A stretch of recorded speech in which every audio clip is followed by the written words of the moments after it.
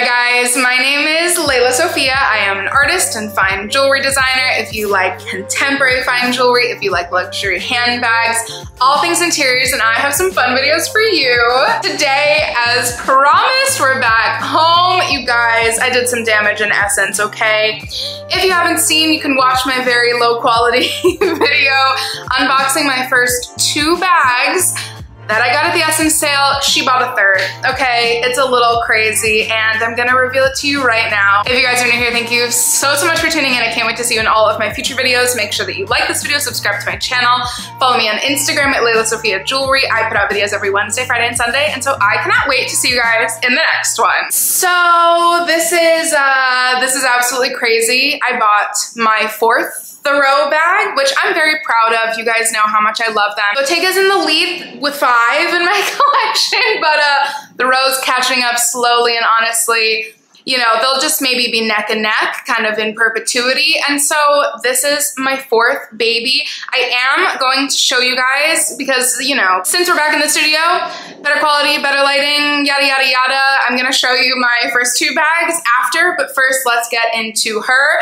Did you guys guess from the last video? Any thoughts? Kind of a pretty, pretty kind of large actually, mm, a little bit of a weird shape, which I'm literally essentially outlining.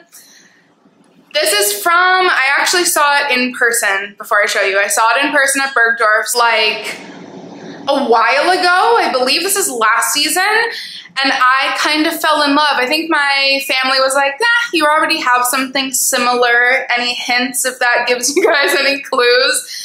So without further ado, I uh, basically, I went for it. You guys, this is, look at This is the Row Dante Clutch XL in eel skin. Who knew? Very interesting. Another exotic bag. My only two exotic bags are from the Row now. And I'm kind of obsessed. It's like this glossy black. It really looks like this in person. That's not a camera effect. It's very glossy. It's pretty sizable. It's definitely going to fit so, so much. I'm gonna show it to you without the stuffing as well, but right now there's just a little bit of stuffing, so it's pretty kind of flat actually.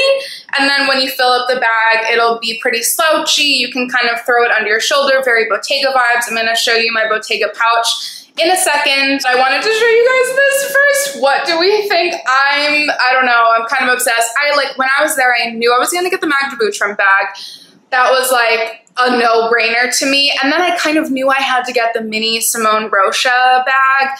And this just was here calling my name. And honestly, my mom and I were debating. I was debating getting the Lemaire Croissant bag and I couldn't decide.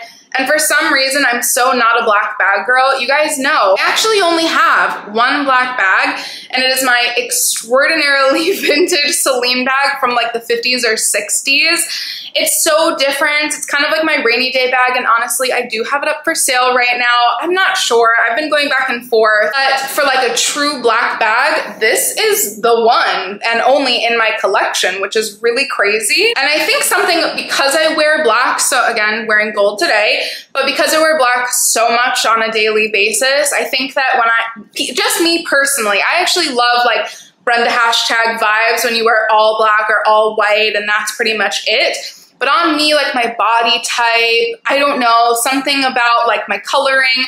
When I wear black on black on black on black on black, I look like it's immediately emo versus like classy. And so I need to put black with brown or black with beige in order for me to be like chic New York vibes. I don't know if that makes any sense, but I definitely used to lean more of like the New York, but like kind of edgy vibes. And now we're leaning more chic.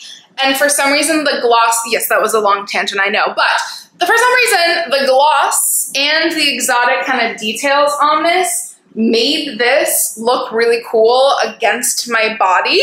And I'm obsessed, long story short. Let's get into some of the details. So essentially, just like the most basic little zip right here, which is really beautiful.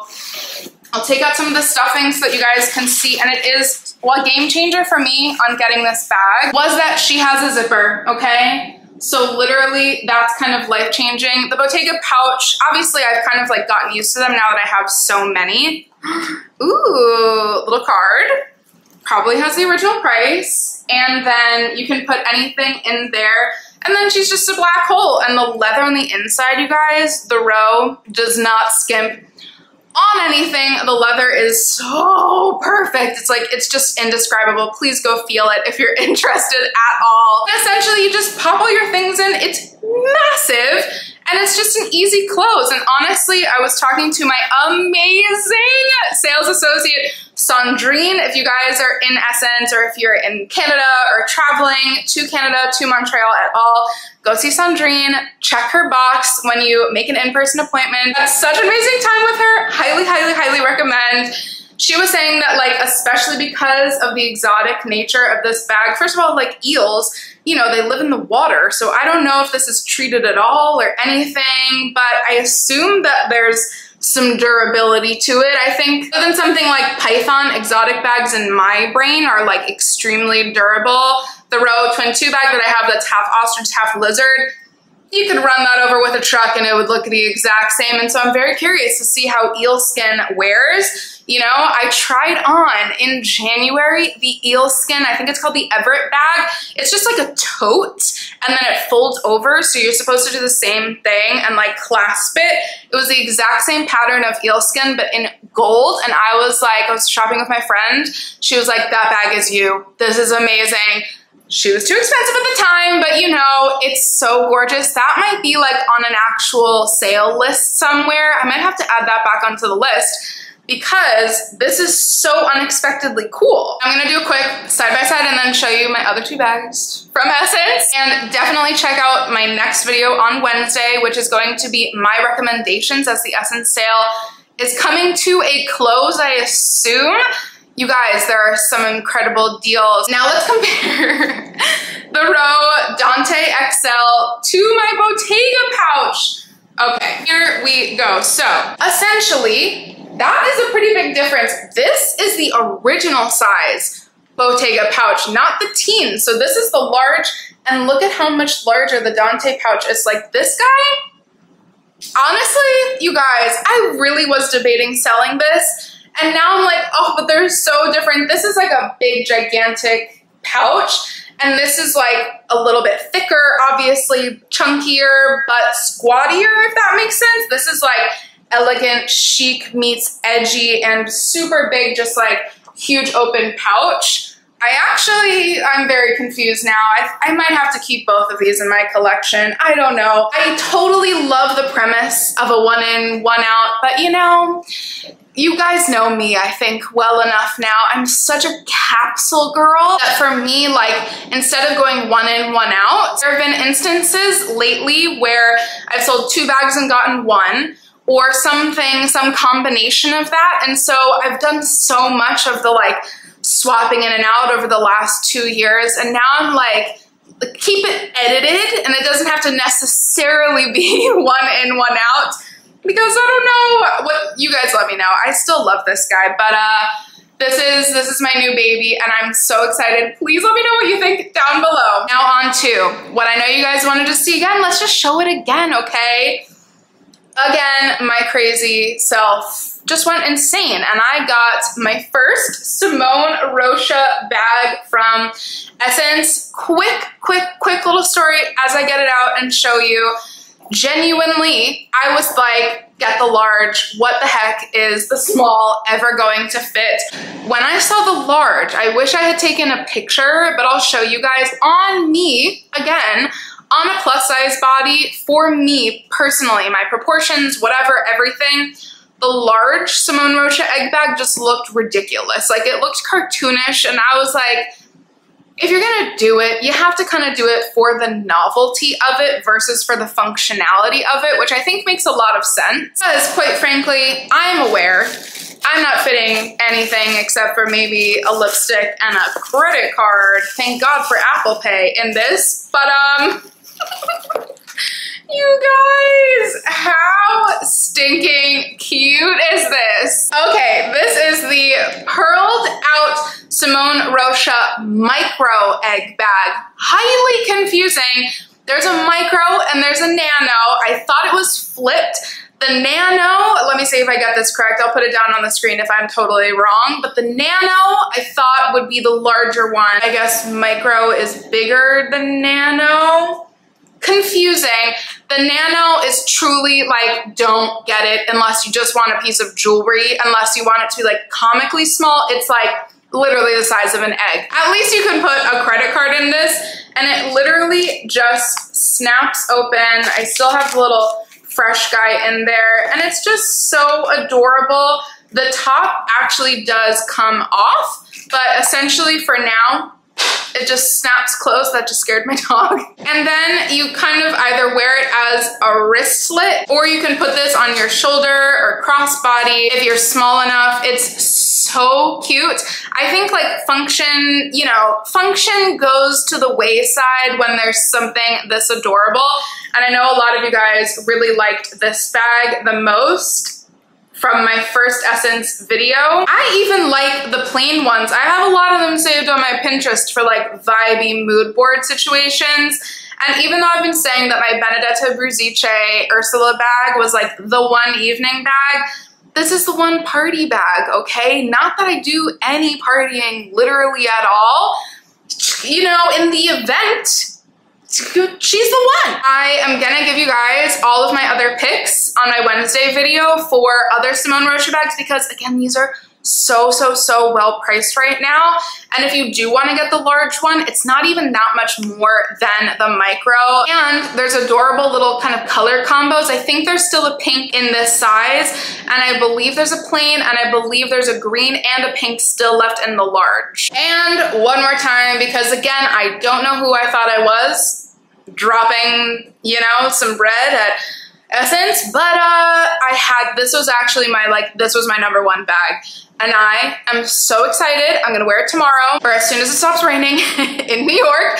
This is my very first Magda Butrym bag. This is the Magda Butrym Maya bag. You guys, okay. Genuinely, I have been looking at Magda Butrym and I think I talked about her pieces a couple times little dust bag in the past. And honestly, I think she's more so known for her kind of floral evening bags. Those are so, so beautiful. Even there's like a really cool kind of drip down one, but for evening and for function and for everything, I think these are completely, completely underrated. It's giving the row, honestly, you got, I, I said this in the, my first one and this is such a weird comment, but the leather smell, it smells amazing and this leather quality is insane. So if you guys haven't seen, this is the Magda Butrym Maya bag in cream. Look at the details. It's just like, I don't know, it's simple and yet so pretty. It's also one that's just a half moon, kind of round at the bottom, flat at the top version of this that I think is perhaps more popular, but for some reason I was like, guys, we're missing out. This is so pretty. I love this shape and I love this shape on my body because I'm so curvy, especially like where my back kind of dips in. It's like hits at the perfect length to still show my shape because a lot of shoulder, it sounds so silly, but a lot of shoulder bags make me look larger than I am because they hide like the curvature of my lower back random. We think about these things as women, you know? And this just hits me so perfectly. And you guys, I'm gonna show you how we can like completely upgrade it as well. Make it a party bag, make it a whatever bag. It has this little attachment, this guy, which is absolutely impractical. It has this like little pearly vibe with rhinestones dangling off and it's so easy. There's an extra little hook right here for it. And then like, is it just me or does this look like so luxurious? It's so pretty. It just kind of like adds a little bit of zhuzh to the bag. And I was worried that the bag was going to look too basic when it wasn't on because I was like, obviously you don't keep it on for the entire time, the dangling rhinestones, but it's also what Magda Butrym is known for. And I wasn't sure if it was gonna just look stupid without it or look so basic. And I completely think that it is so worth it to have this on and or off. For some reason, I think underrated. I think it could be, it's, it's worth it because especially as everybody's kind of discovering the row, ironically, I actually have like not so basic bags from the row. My mom has like the staple essential bags from the row. Mine are more of like the function meets funky. I would say that mine are a little bit more kind of outstanding or basic, but something like the park tote, I don't have something like the 90s bag or something like the half moon bag. And so this is kind of like filling that void without paying the row prices for me. The sale is incredible and it comes in black as well, which my mom was genuinely, genuinely debating, but she has that original row bag of hers in black. It's like essentially the same exact thing. And so it was a very smart thing and she can borrow this any, any time. You guys, that has been my The Row bag reveal and my whole little SSENSE haul. Stay tuned for the rest of my picks from SSENSE that I think you guys should make sure that you do some looking, do some ordering. Before the sale ends, we know the SSENSE sale is like it's iconic, okay? And I'm so grateful again to Sandrine, to the SSENSE team. Not sponsored at all, but I'm just so excited and I highly recommend making an appointment, go shop. My brother had a whole moment. That boy did some damage as well. My mom bought something. It was just like so, so fun. As always, I cannot wait to see you guys in the next one. Make sure that you like this video, subscribe to my channel, follow me on Instagram at Léla Sophia Jewelry, and I can't wait to see you in the next one. Bye guys.